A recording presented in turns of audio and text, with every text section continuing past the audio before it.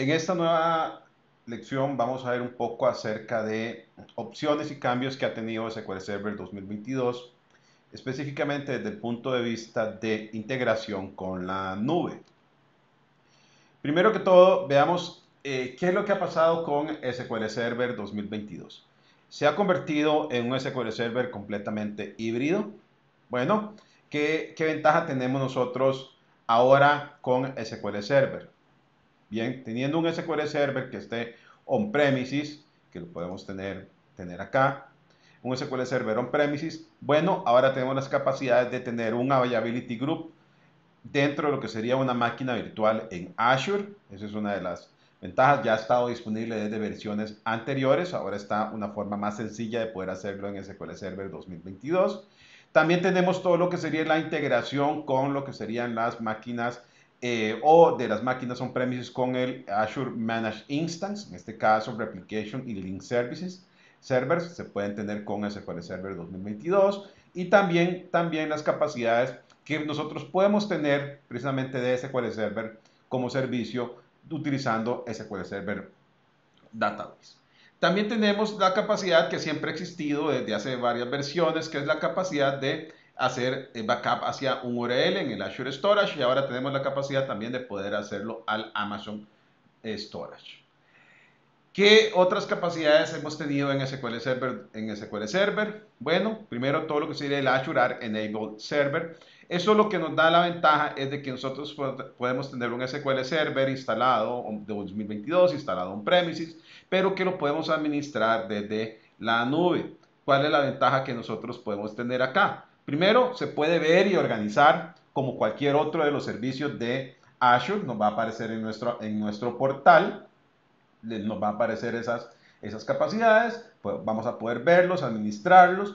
Podemos tener una capacidad que es interesante, que es Pay as you go licensing. No tienen que pagar ahora la licencia completa del SQL Server on-premises, sino que pueden optar por una opción que sería de pagar por uso, en este caso pagar por mes, y eso al, al conectarlos ustedes con su SQL, con su Azure en la nube.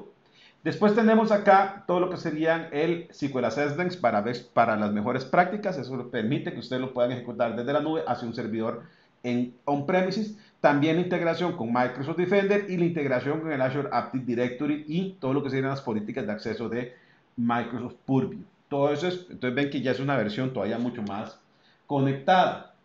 Otra de las ventajas que tenemos es lo que sería la capacidad de continuidad de negocios.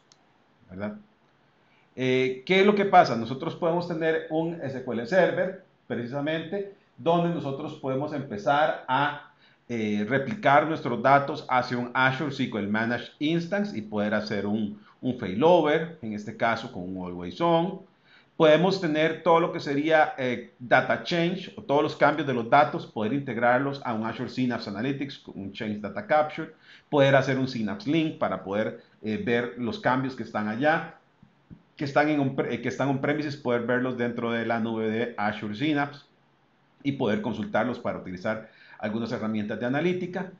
También con el Azure Purview podemos ver todo lo que serían los esquemas y, las, y además le podemos aplicar políticas de eh, seguridad a nuestro SQL Server 2022. Está toda la integración con el Azure Active Directory completamente. Podemos hacer toda la autenticación de SQL Server 2022, pero utilizando Azure Active Directory. También está todo lo que sería la integración con Microsoft Defender for SQL, donde podemos ver alertas de eh, algún problema de seguridad o recomendaciones de mejores prácticas de seguridad sobre nuestros servidores SQL Server on-premises.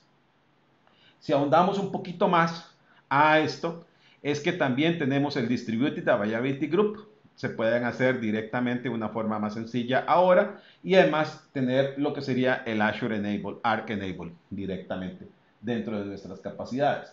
Si ahondamos un poco dentro de todo lo que sería estas, estas capacidades, tenemos lo siguiente. Primero tenemos continuidad de negocio con, mediante el Azure SQL Managed Instance. Esto lo que nos permite es precisamente eh, resolver este problema.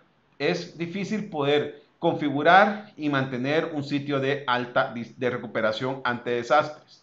Entonces, ¿qué es lo que nos permite ahora este, estas nuevas capacidades de una forma mucho más sencilla, vamos a poder venir y hacer que el SQL Server 2022 tenga un failover o un nodo de failover con un Azure SQL Managed Instance mediante un Always On donde podemos venir y nosotros tener un Distributed Availability Group.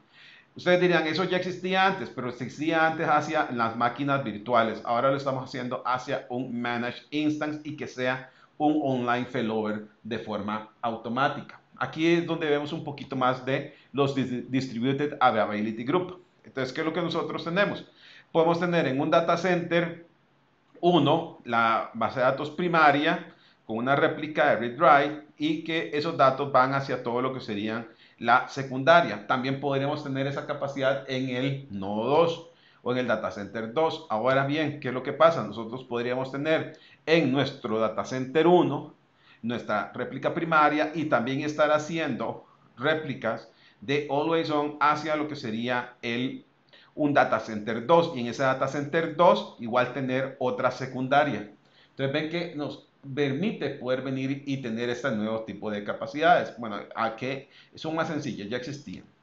Ahora, ¿qué es lo que pasa? Tenemos la, el link feature for managed instance, donde nosotros podemos tener todo lo que sería nuestra base de datos primaria, Availability Group 1, con una secundaria ahí. Hacemos un Distributed Availability Group Sync mediante un Azure Network hacia un SQL Managed Instance, donde ahí tenemos nuestra base de datos. Entonces ve que ahí podríamos tener nuestras capacidades y todos los logs y todos los cambios de logs se envían hacia esa nueva Managed Instance para que estén sincronizados. ¿Qué ventaja nos da eso? Nos da la ventaja de poder venir y hacer todo lo que sería el online failover. Es solo un único paso mediante el Managing Studio, mediante el Failover Wizard, para que nosotros podamos hacer todo lo que sería las, el movimiento, ya sea mediante un, failover planificado o un face, fail, force failover, donde se tiene que hacer a la fuerza.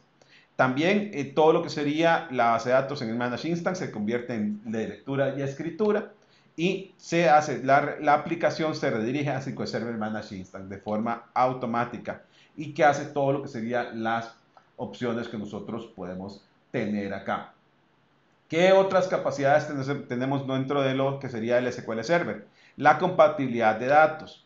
Dentro de lo que serían las eh, versiones que nosotros vamos a tener es que cuando estemos haciendo todo lo que sería las opciones de SQL Server 2019, podemos hacer también de SQL Server 2022 hacia lo que sería el SQL Server Managed Instance. ¿Qué opciones nosotros vamos a tener? Vamos a tener aquí el Offline Disaster Recovery de SQL Server 2022. En este caso, el SQL Server Managed Instance está alineado con la versión de Database 957, no con la versión anterior que habíamos visto que era acá, que es la 904. Ahora sí tenemos alineamiento de versiones y que permite que nosotros podemos venir y este, tener estas capacidades de poder venir y desde el Manage Instance que teníamos allá en la nube, poder restaurar un, una base de datos hacia el SQL Server 2022 que nosotros tenemos on-premises. ¿Qué otras capacidades de, mm, de, análisis tenemos nosotros dentro de lo que sería el, el SQL Server desde el punto de vista de conectividad. Desde el punto de vista de conectividad, ¿qué es lo que vamos a tener? Vamos a tener todo lo que sería el Azure Synapse Link. El Azure Synapse Link lo que nos permite es precisamente poder hacer una integración de los datos on-premises con los datos que están en la nube dentro de una instancia de Synapse. Pero eso lo vamos a ver en un siguiente video.